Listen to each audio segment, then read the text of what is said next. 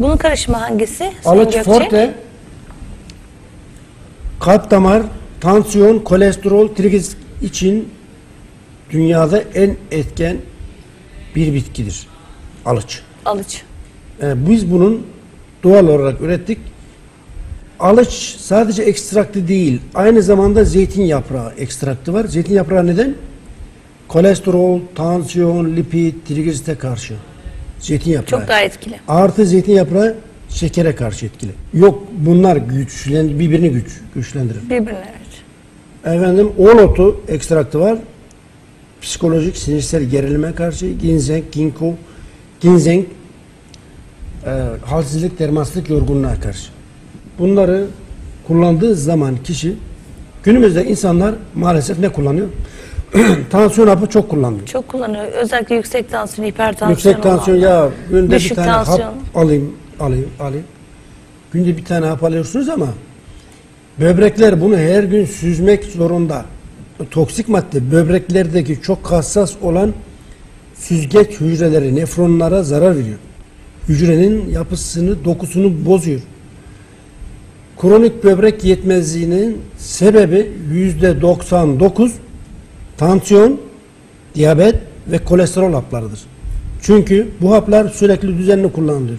Doğru. Sürekli ve düzenli alınan haplar böbrekleri iflas ettiriyor. Bazısı diyor ki ben 5 yıldır kullanıyorum bir şey olmadı.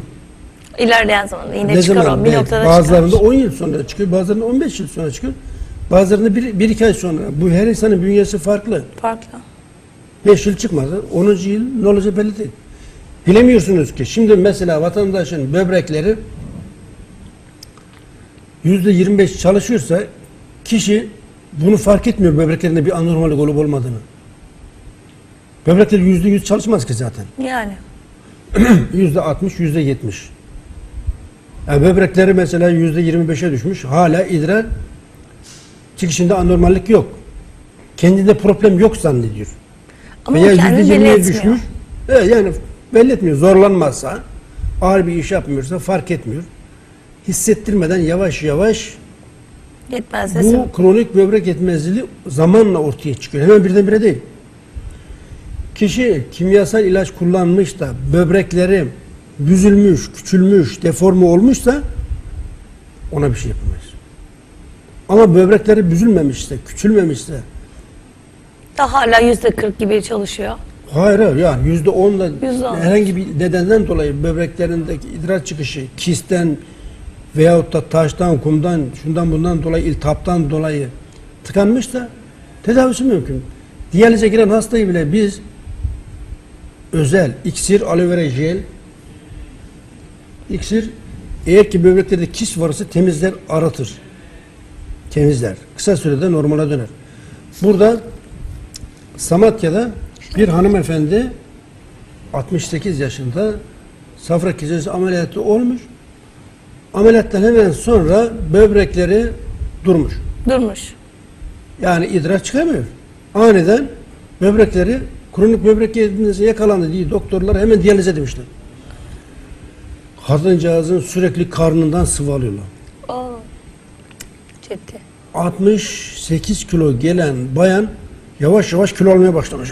yavaş yavaş yavaş yavaş. E, metabolizma ağırlaşıyor. Evet demişler ki ya ya mutlaka hemen diyalize girmesi lazım yoksa balon gibi olacak şişecek. Yavaş yavaş kilo alıyor kilo alıyor. Dediler ki bana buna bir çözüm acil bir çözüm internetten araştırmışlar bulmuşlar geldiler. Dedim ki tansiyon hapı kullandıysa diyabet hapı kolesterol hapı kullandıysa böbrekler çözü çözün yani büzülmüşse artık fonksiyonu yitirmişse ona bir şey yapamayız. Fakat herhangi bir ameliyattan dolayı burayı pıhtı, pislik, iltihap tıkadıysa tedavi ederiz. Ya ameliyattan sonra o zaman kolay. İksir, aloe vera jel, böbrek ve mesene çayı verdik. İki gün bizim ürünleri kullandıktan sonra idrarı çıkmaya başladı. Rahat mı? Evet. Aa bayram ettiler. Dediler tamam artık diyalize gerek kalmadı. Çünkü diyalize başladığı zaman böbrekler daha da tembelleşiyor. Yavaş Ağırlaşıyor. yavaş çürüyor, gidiyor. 21 gün sonra hastaneden eve gönderdi. Artık bir şey kalmadı. Normal idrar çıkışına başladı. 130 kiloya çıkmıştı bu bayan. ödem oluşmuştu bütün vücudu. E tabii şişiyor. Metabolizma 3 anlayışı. ay sonra tekrar 68 kiloya düştü. Oo çok iyi. 130 kilo balon gibi her tarafı sıvı toplamıştı.